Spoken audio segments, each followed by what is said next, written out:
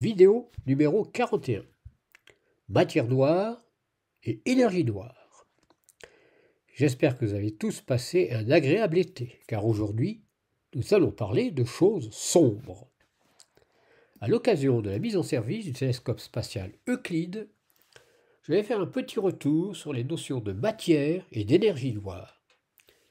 Ces derniers temps, le mot noir de la traduction française a été remplacé par sombre ce qui ne veut pas dire pour autant que la situation s'éclaircit. Mon objectif est très simple. Comme je n'ai jamais parlé d'énergie noire jusqu'ici, expliquer un peu de quoi il s'agit et la différence avec la matière noire. Pour la matière noire, je vous renvoie à ma vidéo numéro 8. Dans cette vidéo, j'ai affiché le dessin qu'on trouve un peu partout et vous constatez qu'on y trouve aussi une mention de l'énergie noire censé représenter 70% du contenu masse-énergie de l'univers. Avec ça, on est bien avancé, car personne n'a défini ce qu'on entend par univers. Voir à ce sujet ma vidéo numéro 3. Derrière ce diagramme, il y a en fait toute une histoire. Tout d'abord, l'équation d'Einstein relie le tenseur de courbure locale en un point de l'espace-temps variété abstraite de dimension 4, jamais définie autrement que pour définir cette équation, et qui serait l'univers, a une densité d'énergie-impulsion. C'est à ce niveau que l'énergie et la matière sont mises en parallèle. Et c'est de là que vient le diagramme. On comprend vaguement que l'énergie est un équivalent masse qui courbe l'univers sans être pour autant associé à une masse. Mais de quoi s'agit-il finalement? Et pourquoi énergie noire. Pour la matière noire ou sombre, on comprend. Il s'agit d'une matière qui n'émet pas de rayonnement électromagnétique et en particulier pas de lumière. Citons Wikipédia. En cosmologie, l'énergie sombre ou énergie noire, en anglais dark energy, est une forme d'énergie hypothétique remplissant uniformément tout l'univers et dotée d'une pression négative elle se comporte comme une force gravitationnelle répulsive. L'existence de l'énergie sombre est nécessaire pour expliquer, dans le cadre du modèle standard lambda CDM, diverses observations astrophysiques, notamment l'accélération de l'expansion de l'univers détectée au tournant du XXIe siècle.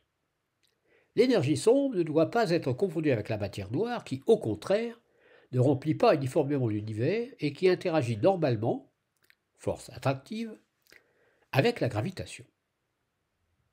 Arrêtons-nous un instant sur la formule l'accélération de l'expansion de l'univers détectée au tournant du XXIe siècle. On a ici une hypothèse globale sur le comportement d'un univers jamais défini, dont une partie seulement, dite observable, est accessible aux observations.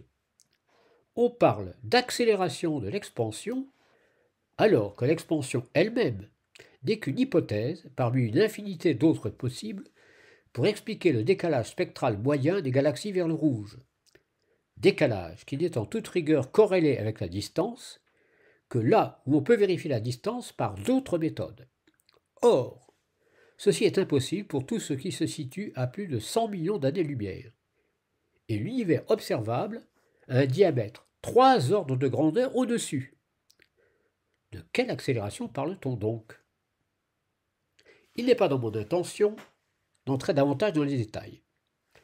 Il vous suffit de retenir que l'énergie noire est une hypothèse interne au corps de doctrine relativité générale plus expansion cosmique, alors que la matière noire intervient pour expliquer des phénomènes beaucoup plus locaux compréhensible dans le cadre de la dynamique newtonienne, telle que la répartition anormale des vitesses de rotation des étoiles dans les galaxies.